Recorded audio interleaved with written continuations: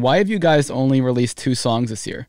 Seems like the past few years you've released so many songs, and according to this, it's only two so far. Like I said, Now United is constantly changing and taking different forms and doing different projects. And right now, uh, Now United is gonna do this um, this musical, this musical that is gonna be for this NFT platform, Whoa. and is this really like it's a new thing, and they're all gonna be acting in it, and that's why I was doing the acting lessons. I was doing it with them, but I'm not in that project. But um, yeah, uh, so sometimes it just takes a lot of focus in one certain Mhm. thing, you know, and yeah, we could be releasing like singles and singles and singles, but if we want to do like a musical, for example, then that takes focus and time, and we just need to prepare it. So that's what they're doing right now uh, with the that project, and there's definitely songs in the works too. Okay. So yeah, Okay.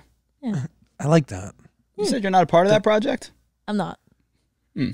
Why not? cause Okay. sneaky, sneaky.